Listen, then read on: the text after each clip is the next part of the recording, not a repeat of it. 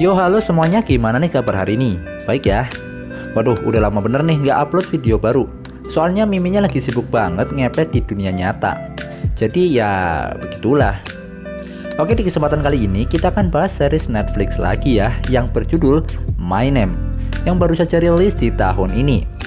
Akan bercerita mantan hayalan Mimin. Siapa lagi kalau bukan Mbak Han Sohee yang coba memburu pembunuh bapaknya dengan cara bergabung dengan organisasi narkoboy yang elit. Kira-kira bisa nggak ya mantan Mimin ini mencapai tujuannya? Oke seperti biasa tanpa basa-basi panjang lebar kali tinggi langsung saja kita gas kui.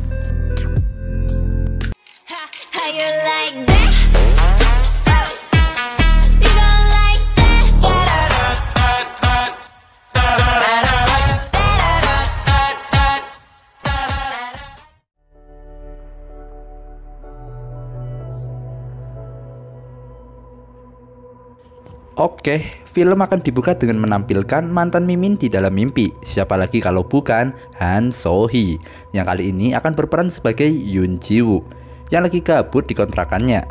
Keluarganya cukup berantakan setelah kematian ibunya, ditambah lagi bapaknya yang seorang buronan karena terkenal sebagai preman jalanan sekaligus pengedar narkoboy.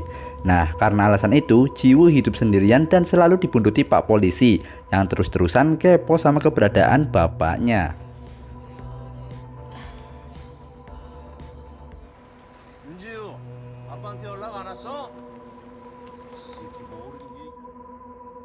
Karena melihat bapaknya Jiwo yang urak-urakan menjadikan Jiwo jadi target bully sama teman sekelasnya yang no have ahlak. Sampai-sampai sekolah memutuskan untuk memindahkan Jiwo ke sekolah lain dong.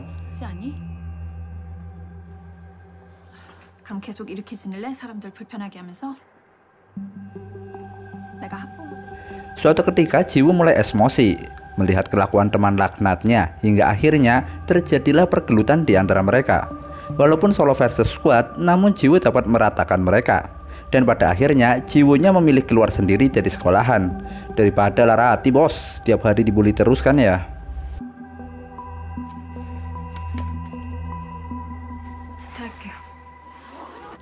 Jiwo juga meluapkan amarahnya sama bapak-bapak polisi yang mantau dia mulu ya.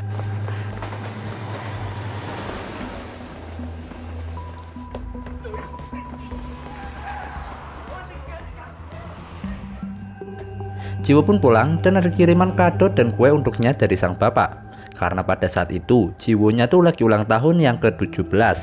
Sang bapak pun menelepon Jiwo buat ucapin selamat ulang tahun ya. Namun Jiwo yang udah kadung marah.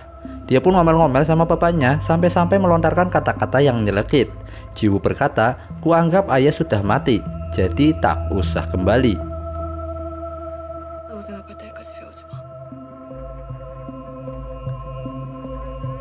Sang bapak yang sebenarnya sayang banget sama Jiwu akhirnya Gaskui nyamperin Jiwu ke kontrakannya dan tanpa banyak cincong meratakan bapak-bapak polisi yang nginep depan kontrakannya Jiwu.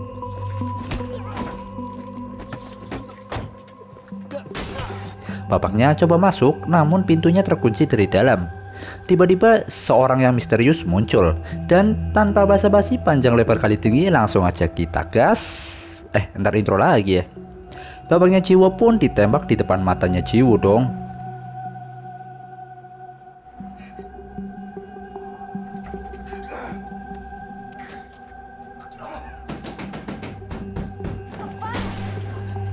Jiwonya mulai kalut lah menyadari kondisi bapaknya yang mulai sekarat. Namun bapaknya nggak bertahan lama hingga akhirnya dia pun tewas. Jiwonya nangis kecil dong di sini.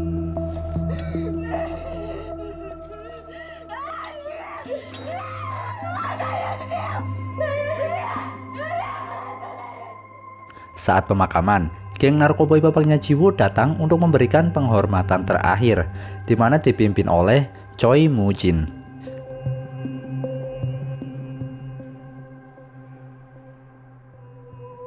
Choi Mujin menganggap bapaknya Jiwo tuh udah kayak saudara sendiri, kayak best friend forever gitulah. Jiwo pun menatap mayat ayahnya yang di mana ada tato di dadanya serta ada jahitan yang cukup besar ya di dadanya. Jiwo pun teringat masa lalu yang tentram bareng bapaknya, di mana mereka berencana membangun sebuah rumah yang sederhana di tepi pantai suatu hari nanti. Namun, semuanya telah sirna karena bapaknya yang harus tiada.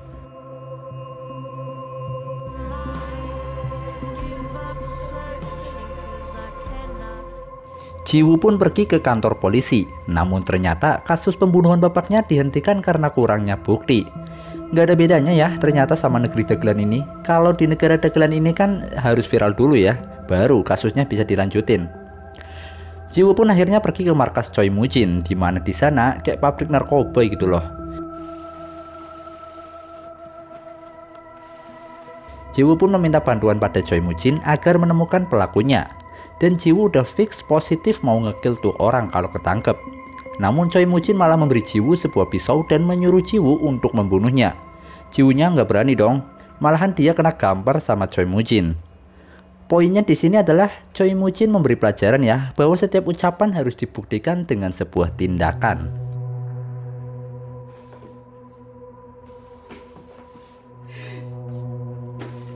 Saat dikontrakan, ada seseorang yang menggedor-gedor pintu kontrakannya. Jiwunya ketakutan dong. Namun setelah beberapa saat, Jiwo mulai berpikir bahwa orang itulah pelakunya. Dia pun gaskui mengejarnya, namun mana sempat keburu telat.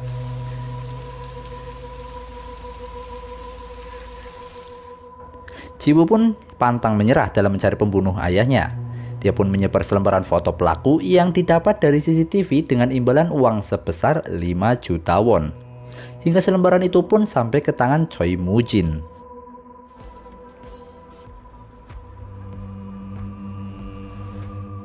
Jiwoo mendapat kabar bahwa ada yang tahu keberadaan pelaku.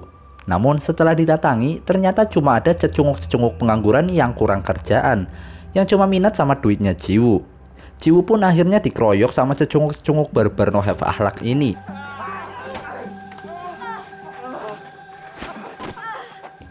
Jiwu yang gak sadar diri dibawa ke suatu tempat, entah di manakah itu, dan tiba-tiba terjadilah crash.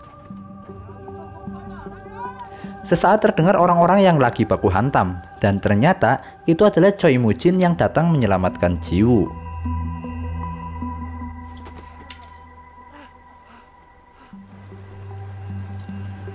Choi Mujin menanyakan keputusan yang diambil Jiwoo. Serius nih mau ngekill pelakunya?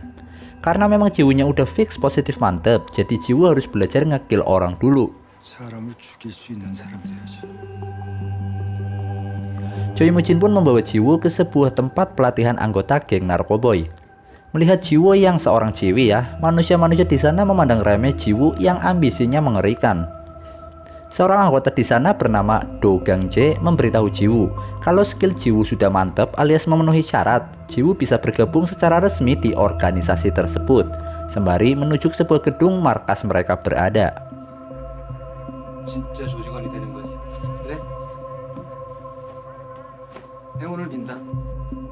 Layaknya anak baru, Jiwu diperlakukan layaknya babu, disuruh nyuci piring, nyuci baju, sampai-sampai dilecehin dong.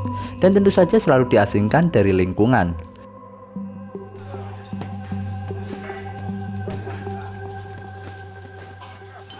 Hingga suatu ketika, Jiwu terpental dan seseorang memegang gunung kembarnya yang katanya imut sekali gunungnya. Jiwunya nggak terima dong, dia pun menghajarnya namun Jiwo yang masih noob tentu saja bukan lawan yang seimbang. Sejak saat itu, Jiwo berlatih begitu keras.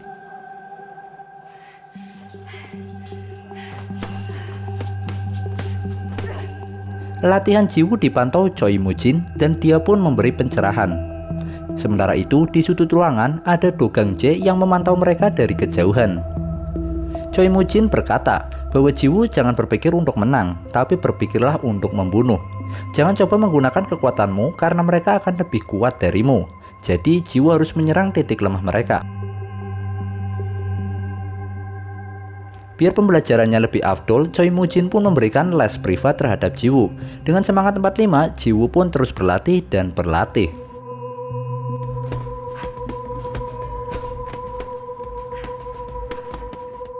Hingga suatu ketika diadakanlah tarung bebas yang di mana orang yang terakhir bertahan dialah yang akan menjadi pemenang. Pergelutan massal pun terjadi, pukul sana, pukul sini, tendang sana, tendang sini, pokoknya bat bat bat bat, bodoh amat.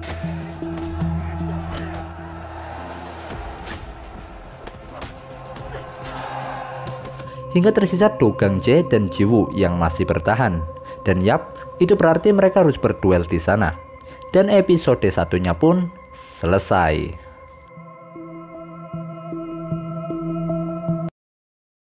Yos, berakhir sudah episode satunya.